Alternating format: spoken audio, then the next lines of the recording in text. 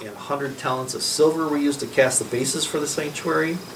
And for the curtain, 100 bases for the 100 talents. So they used a lot of silver too.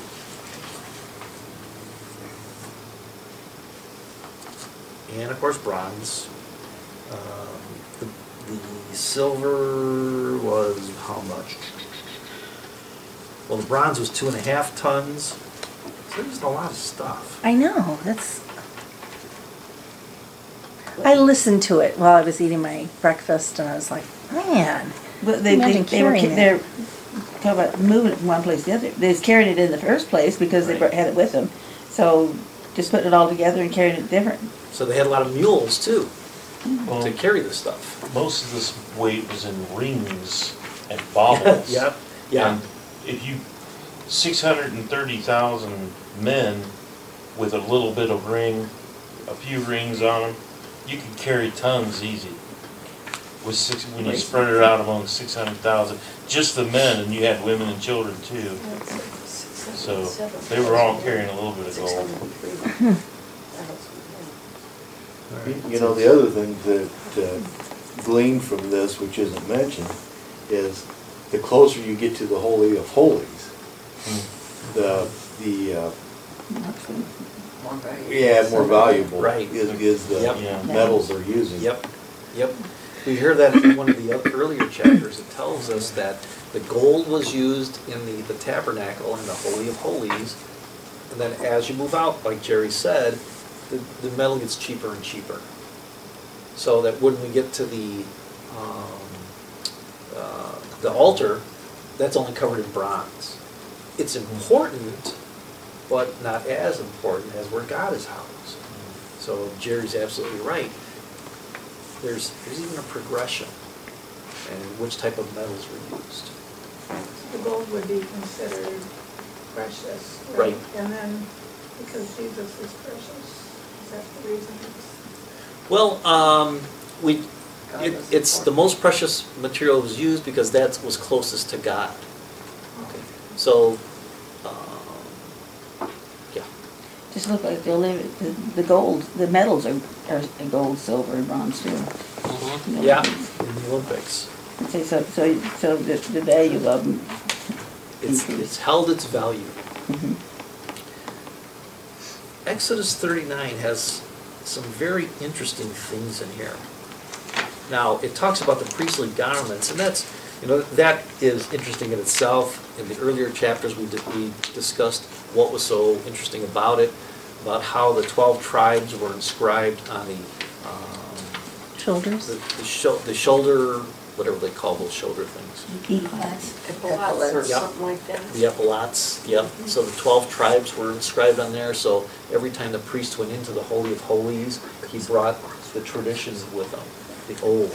Is there anything that says the, the different, um, jewels that they use, the different kinds? Were they specific to a certain tribe, or were they just? Well, each, they had twelve jewels, and each jewel was representative of the tribe. I'm not quite sure how they designated which tribe got which jewel. I was wondering. Yeah. I think it's in one of the back chapters, almost positive, we Yeah, but I'm talked not sure about if it that. says why. Oh, no, but Yeah. that each jewel was, So there, when we look at the screen, Jerry's showing us how the, the ephod, that, that chest plate, has the twelve jewels on it.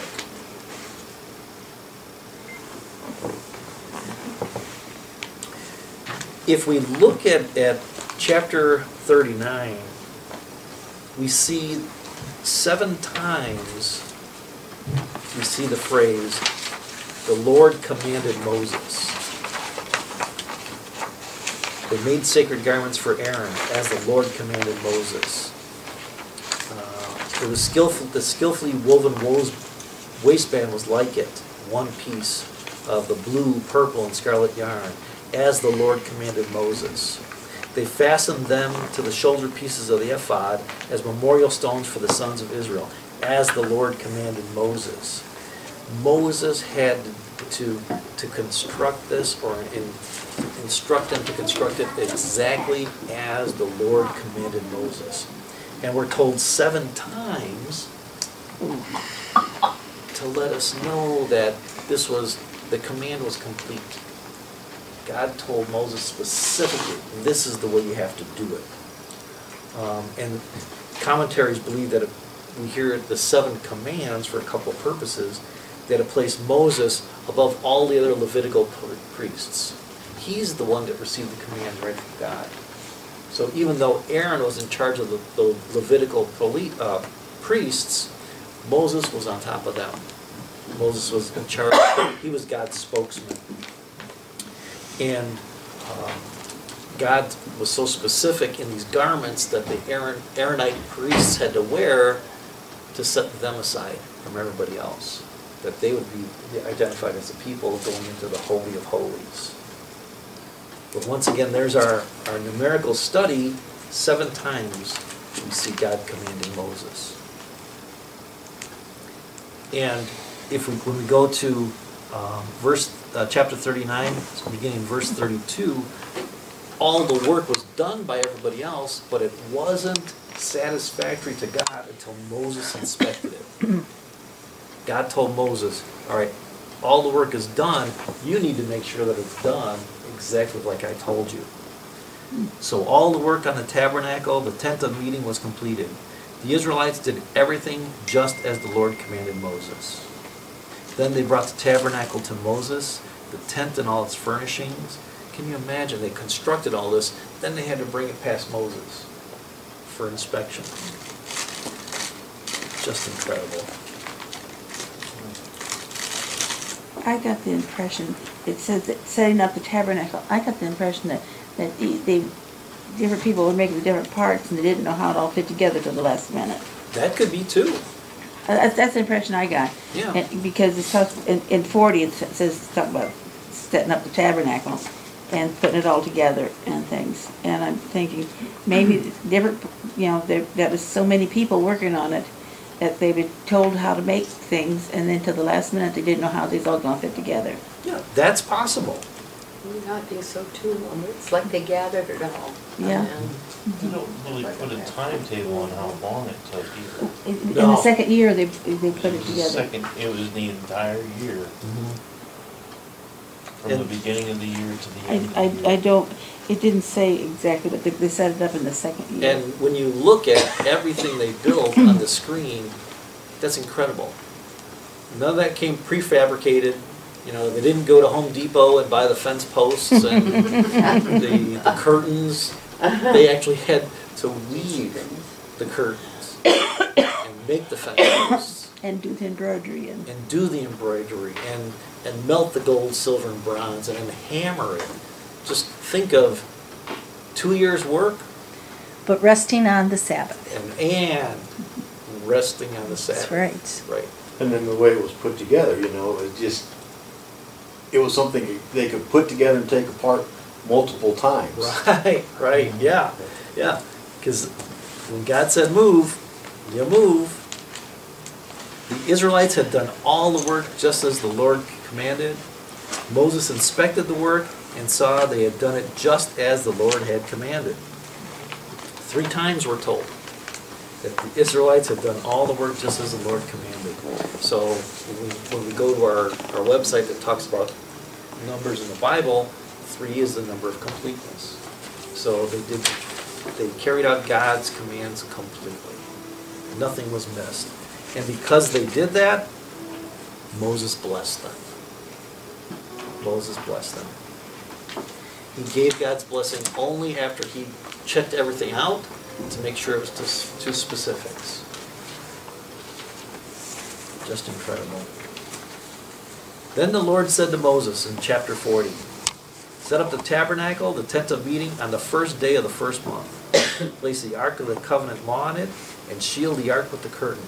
Bring in the table, even setting it up. God gave the specific rules. Do this, then do that. Do it exactly like I tell you to. Boy, Moses is incredible. He had to remember all this.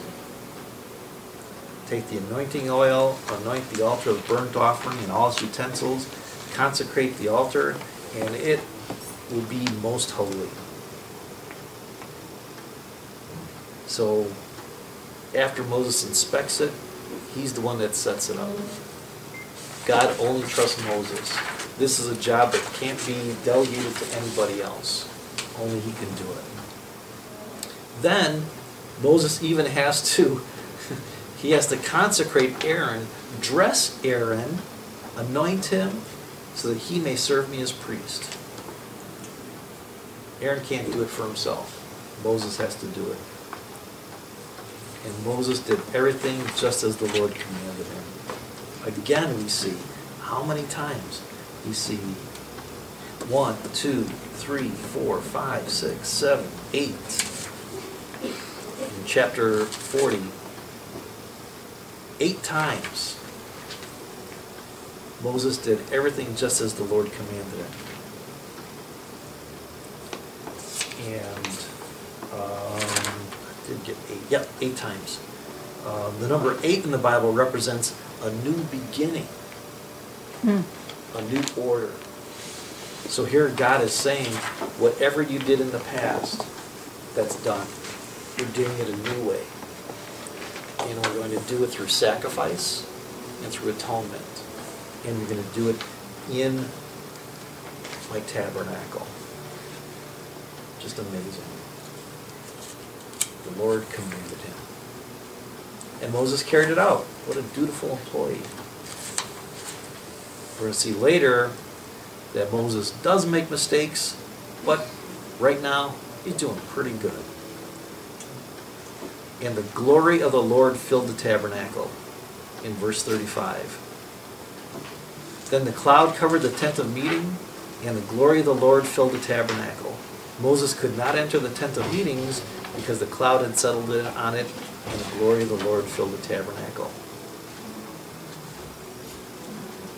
All the, the Israelites who were willing, they gave of their money, they gave of, of their, their riches, they gave of their time, because they knew that when the tabernacle was built, that God would be with them. God would finally live among them. Even though he disowned them at one time, because of Moses' intercession, God is now living with them. That's why they, they decided to do all this stuff. Verse 36 In all the travels of the Israelites, whenever the cloud lifted from above the tabernacle, they would set out.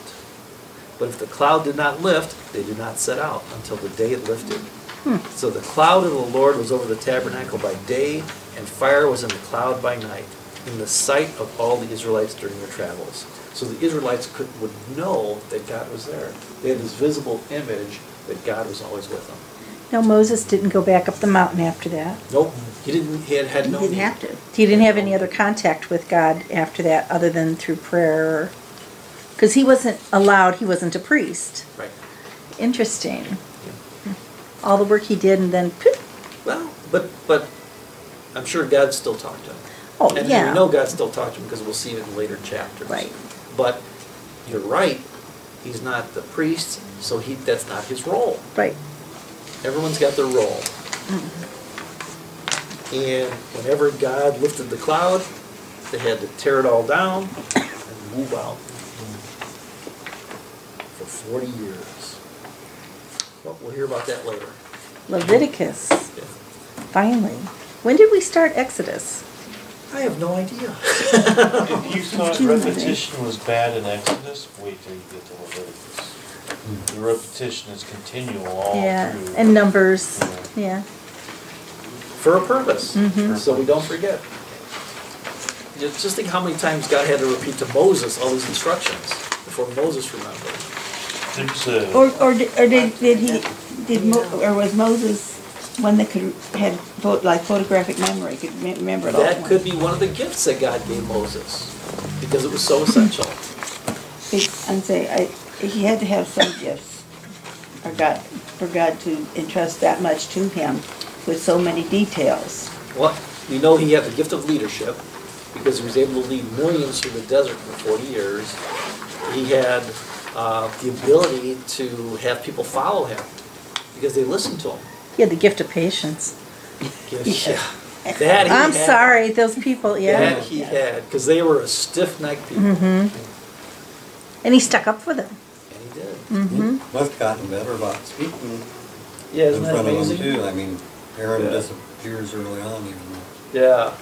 So that was probably just an excuse Moses had. Yeah. One of his, one of his seven excuses. So, Cool. That's it. We're we're through Exodus. When did we start Bible? We were just asking, well, Bible 101, we started last, Was it before Easter? November. We or were something. downstairs, I know that. was it November? It was last fall. Wow. I was thinking it was November. We're gonna be doing this for quite a while. There's a geologic It a long while weirdness, more. geological weirdness in Sinai.